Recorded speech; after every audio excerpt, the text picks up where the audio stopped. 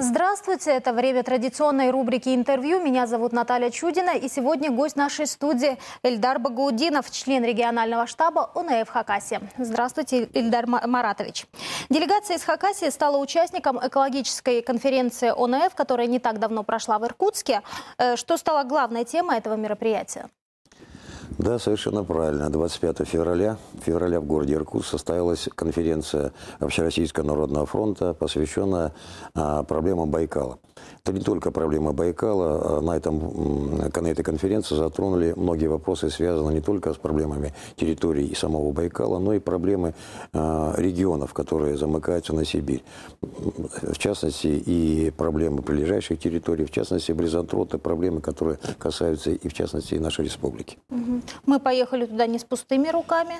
Какие темы мы там осветили? Совершенно правильно. В составе нашей делегации был Алексей Иванович Вернигоров, член э, регионального штаба Народного фронта, специалист и эколог, Михаил Журба, э, э, эксперт э, регионального отделения Народного фронта, ну и ваш покорный слуга, специалист, производственник, член регионального штаба.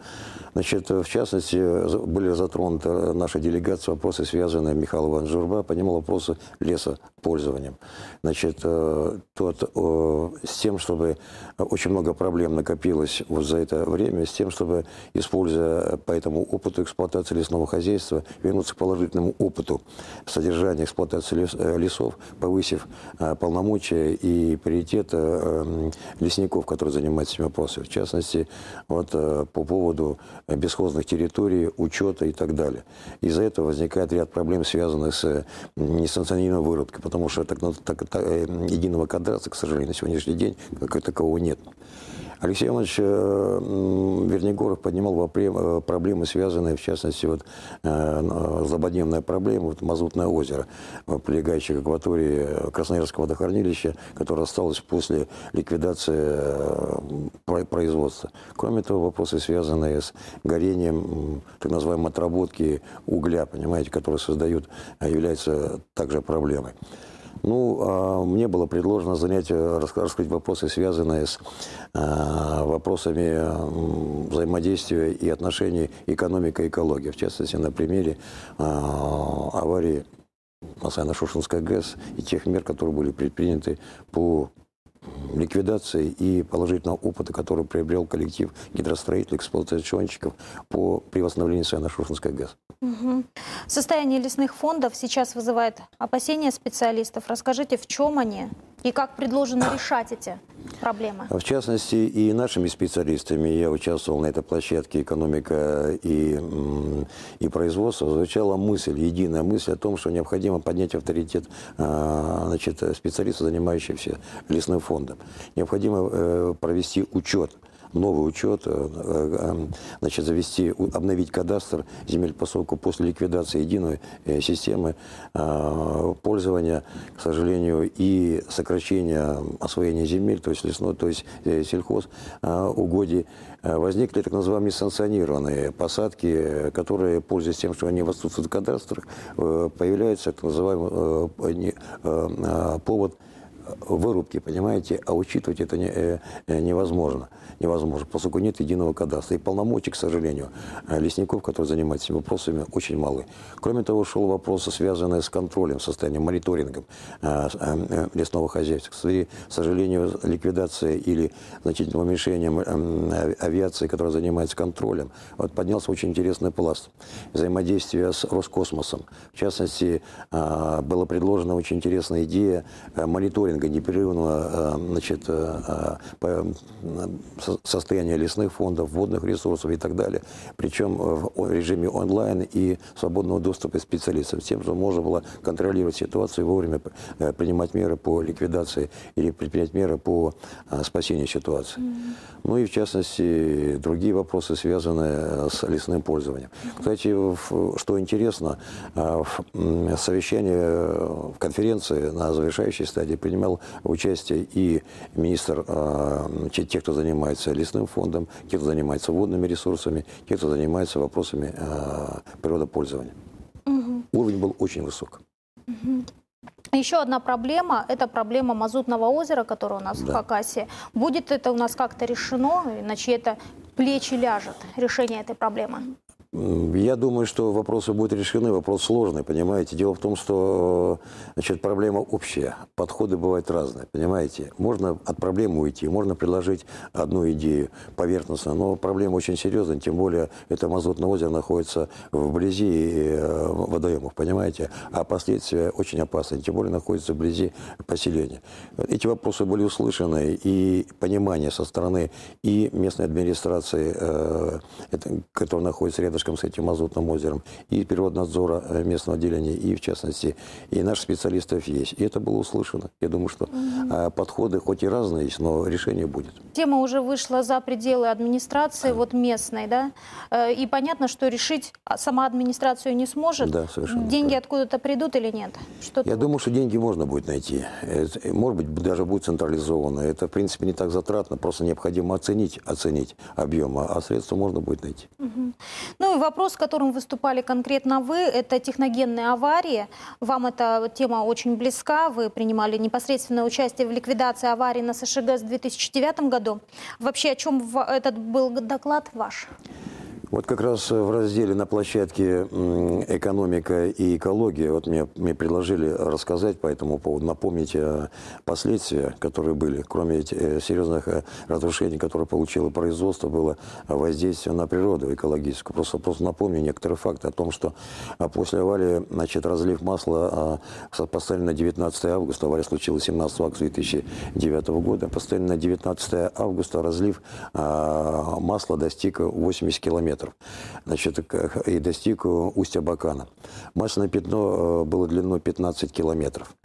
Значит, по состоянию 25 августа удалось э, ликвидировать этот разлив, причем было собрано более 155, 117 э, тонн разлитого масла из воды, более 155 тонн разлитого масла было откачано с помещений.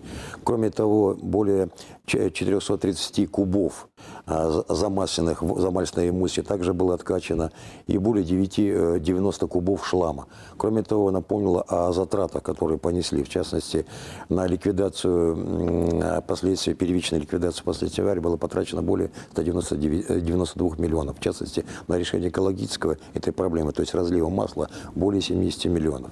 Затраты МЧС составили по ликвидации более 83 миллионов. И вот, кроме того, в период, восстанов... да, период восстановительных работ, кроме огромного комплекса э, проектных, конструкторских, технологических решений, значит, были приняты очень интересные технические решения, которые существенно снижают экологические риски. Причем э, это было важно не только для нашей ГЭС, потому что на Ангаре, который вытекает с озера Байкал, находится еще один объект Русгидро, новая Богучанская ГЭС и три ГЭС, которые входят в другой каскад. Э, эти решения очень полезны. В частности, хочу напомнить о том, что, используя новое оборудование, удалось снизить объем маслонапольного оборудования в старом случае до аварии было а, более полутора тысяч тонн. Теперь на новом оборудовании а, объем маслонапольного оборудования составил э, чуть более тысячи тонн. Риски значительно снизились. Кроме того, на территории АРУ-500 который находится в полутора километрах ниже ГЭС, где распределяется электроэнергия. После реконструкции удалось, э, используя новый вид э, значит, оборудования, КРУИ 500 киловольт, ячейки ABB, так называемые 19 ячеек, где в комплекте собраны разъединители, э, заземлители, выключатели, которые находятся наполнены или газом. И это позволило, позволило практически на территории более 44 тысяч квадратных метров полностью отказаться от масляно-напольного высоко, э, находящегося под высоким напряжением. Кроме того, интересный момент использовали по урокам аварии то, что по два агрегата созданы так называемые гермотеки. То есть на нижней основной технологической отметке созданы монолитные, возведены монолитные перегородки, и все 10 агрегатов локализованы в 5 отсеков. В случае опасности аварии, э, аварийной ситуации, пожара, э, опасность локализуется в одном месте, то есть на уровне не больше двух агрегатов агрегатов. Кроме того, очень интересный момент использовали на основных объектах с маслонаполненным оборудованием, используя новую для Саяно-Шушинской ГЭС систему пенного пожаротушения, то есть пена. А в помещении, где находится релейное оборудование, используется, э, монтируется система газового пожаротушения. Этого до аварии не было. Кроме того, интересная вещь использована. Еще один опасным объектом э, повышенной опасности является повышающий трансформатор, который находится в пазухе станции. Вот на новых трансформаторах, которые силовые, которые смонтировали, использовали новую систему сержи, так называемую. Главная опасность от трансформатора, работающего под высоким напряжением, это э, наполняемость газом, выделяется газ при работе. Так вот, система сержи позволяет при повышении давления, давления сбросить это давление и тем самым существенно снизить риски взрыва опасности. Тем более в каждой фазе находится э, около 40 тонн масла. Кроме того, очень огромный объем работы выполнен по дренажам станции. Долгое время, кроме того, что я сказал по ликвидации разливов, а, долгое время не могли понять, э, периодически происходили выбросы масла. Пришлось выполнить полную ревизию систем дренажа, полную очистку э, главной дренажной галереи и обнаружить следующие вещи с тем, что э, повреждения трубопроводов были заменены и полная, полная очистка. То есть это вот комплекс этих мероприятий существенно снизил экологические риски, экологические риски возможные экологические риски, с одной степени повышил надежность эксплуатации оборудования, а с другой стороны снизил экологические риски. Я думаю, что это очень полезно и для других станций. В частности, ряд э, опыт э, значит, реконструкции Саяна-Шунс ГЭС, восстановления, также э, найдет свою, свою реализацию и на Богучанской ГЭС, э, одной из ГЭС нашего филиала. Куда пойдут вот эти вот результаты, вот эти новшества? Они как-то у нас будут записаны, как-то какие-то регламенты новые появятся? Они внедрены, они работают. Понимаете, они есть, они работают. И просто вот э, этот опыт восстановления с использованием новых технологий, он найдет свое отражение и на других филиалах, уже находит на других филиалах компании «Росгидро». Ну и последний вопрос. Вообще, насколько полезным было вот это общение с коллегами из других регионов? Вот в плане экологии, куда Вы... теперь пойдет все это? Я, знаете, главная ситуация то, что вот мне очень понравилось. Э, у нас есть э, то, что я увидел очень много неравнодушных людей.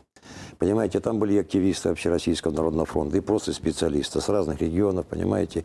И вот это вот неравнодушие, неравнодушие к проблемам, в частности, и Байкала, и своим внутренним э, э, э своим проблемам. Вот э, тот, те предложения, которые прозвучали э, э, по разумному пользованию природными ресурсами с учетом экологических проблем.